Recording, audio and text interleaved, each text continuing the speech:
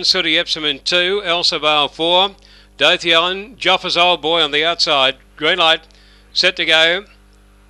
They're ready now.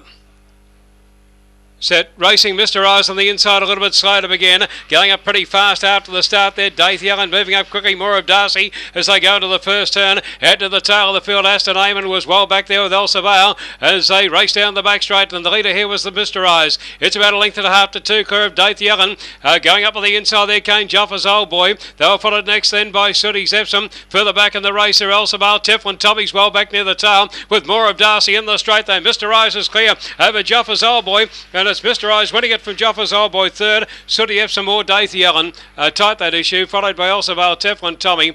And out near the tail of the field here would have been more of Darcy in company there with uh, pretty quickly over the line. Elsa Vale, the time around 30 and 17.